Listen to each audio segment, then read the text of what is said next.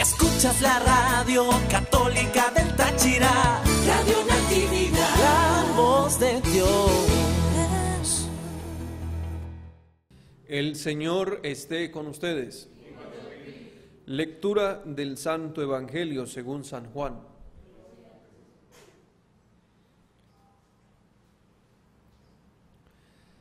Seis días antes de la Pascua fue Jesús a Betania, donde vivía Lázaro, a quien había resucitado de entre los muertos. Allí le ofrecieron una cena. Marta servía y Lázaro era uno de los que estaba con él a la mesa. María tomó entonces una libra de perfume de nardo auténtico, muy costoso, le ungió a Jesús los pies con él y se los enjugó con su cabellera, y la casa se llenó con la fragancia del perfume. Entonces Judas Iscariote, uno de los discípulos, el que iba a entregar a Jesús, exclamó, ¿por qué no se ha vendido ese perfume en trescientos denarios para dárselo a los pobres?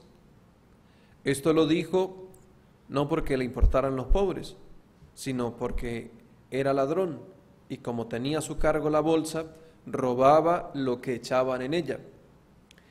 Entonces dijo Jesús, déjala, esto lo tenía guardado para el día de mi sepultura, porque a los pobres los tendrán siempre con ustedes, pero a mí no siempre me tendrán. Mientras tanto, la multitud de judíos se enteró de que Jesús estaba allí. Acudió no solo por Jesús, sino también para ver a Lázaro, a quien el Señor había resucitado de entre los muertos. Los sumos sacerdotes deliberaban para matar a Lázaro, porque a causa de él muchos judíos se separaban y creían en Jesús. Palabra del Señor.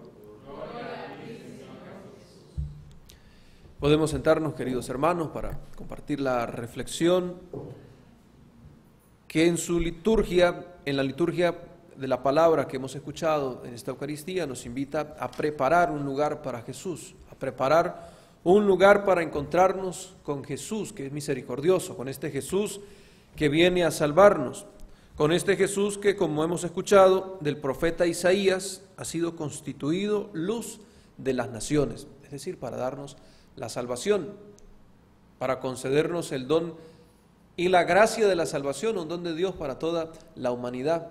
Por eso ha sido constituido por Dios para que con su muerte y resurrección nos permita a nosotros también alcanzar esa gloria.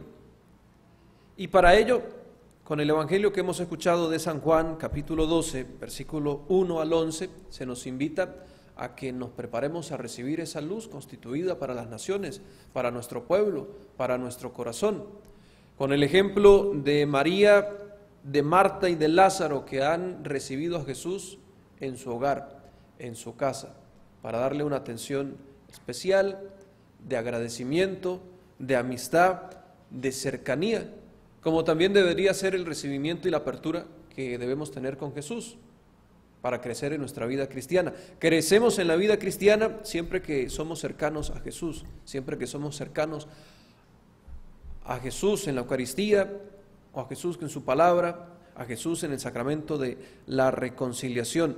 Y vemos la cercanía de estos tres hermanos, de Marta, dice el Evangelio, le servía, Lázaro estaba con él en la mesa atendiéndole, y María ungió los pies de Jesús con el mejor perfume una escena familiar y de atención especial.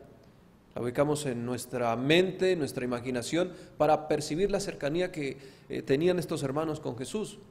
Una cercanía que nosotros debemos vivir. Por ello, hoy nos permitimos preguntarnos cómo es mi cercanía con Jesús, cómo estoy viviendo esta cercanía con el Salvador, con quien viene a salvarme. Abro las puertas de mi hogar, de mi familia, de mi corazón, para vivir realmente este regalo, este don del Señor, para atenderle, para recibirle, para, para que el perfume de nuestra atención a Jesús pueda esparcirse, pueda llegar a todos los rincones de nuestra familia, de nuestra sociedad, como dice el Evangelio, la casa se, llegó, se llenó con la fragancia del perfume, del perfume de la alabanza, del perfume del reconocimiento del Mesías que viene a salvarnos, del reconocimiento de ese, de ese Jesús que nos da la salvación. Para vivir la Pascua, para vivir estos días de Semana Santa, debemos abrir nuestro corazón a Jesús, debemos abrirnos al mensaje que quiere transmitirnos. Claro que luego en el Evangelio también encontramos la actitud de Judas Iscariote, el que entregará a Jesús luego por algunas monedas, el que le traicionará. Y ante la actitud de estos tres hermanos, de Marta, de María, de Lázaro, con tantas atenciones y tanta apertura a la persona de Jesús, Lázaro se pregunta por qué no se ha vendido ese perfume, el que María había utilizado para eh, ungir los pies de Jesús. ¿Por qué no se ha vendido ese perfume en 300 denarios para dárselo a los pobres? Dice Judas Iscariote. En principio podríamos decir, Judas tiene razón, pero el Evangelio nos advierte, lo dice no porque le importaran los pobres, sino porque era ladrón, porque tenía un interés personal, un interés propio, porque era egoísta, porque la ganancia de la venta de aquel perfume seguramente iba a ser para él y para ningún pobre.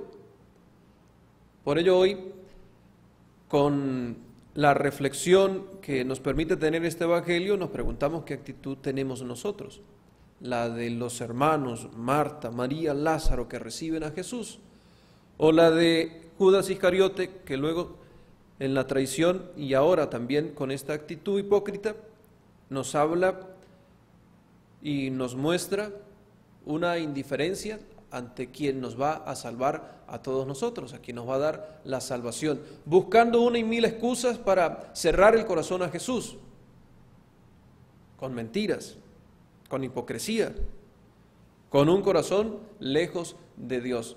Por ello pidamos al Espíritu Santo que nos ilumine para que durante estos días santos podamos acercarnos a Jesús, para que podamos abrir las puertas de nuestro corazón a Jesús, para recibir su mensaje para ungir a Jesús con el perfume de nuestra oración, de nuestra alabanza y del reconocimiento que es nuestro Salvador, y aleje de nuestro corazón cualquier tentación de pecado, cualquier tentación de maldad, como aquellas que tenía Judas Iscariote, de aprovecharse con su interés personal y egoísta y alejarse completamente de Dios. Que el Señor nos guarde, nos conceda la paz y la conversión de nuestro corazón.